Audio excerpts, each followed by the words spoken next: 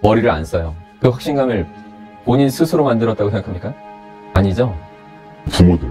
그걸 제대로 가르치지 못한 황당한 부모가 많기 때문입니다. 수학 공포증이 있는 애들이 있어요. 딱 10번을 만났어요. 2시간씩 해서 10번을 만났는데 10주 만에, 딱 10주 만에 2등급을 찍었어요. 입시멘트 프로그램 이 교육 과정을 완전히 이수하고 자신의 것으로 만든 여러분의 자녀는 비로소 자신에게 주어진 시간을 자신을 살리는 쪽으로 완전히 만들어낼 것입니다. 저를 우연히 어떤 경로에서든 우연히 봤을 수 있어요. 여러분이 운이 좋은 것입니다.